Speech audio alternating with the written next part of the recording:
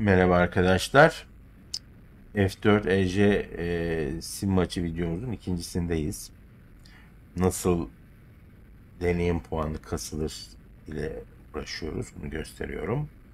Şimdi deneyim puanı kasmanın en garanti e, yolu e, bu arada maç olarak 700 puan getiriyor. Yani maç puanı ile deneyim puanını karıştırmayın bu arada.